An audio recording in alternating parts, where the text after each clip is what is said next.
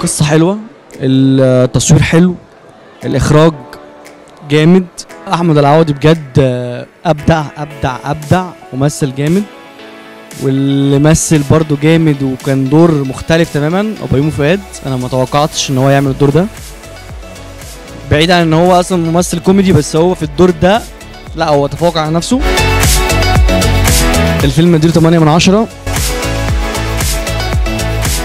كلهم كلهم كلهم مثلوا حلو. كلهم مثلوا حلو. كل الاداء كان تمام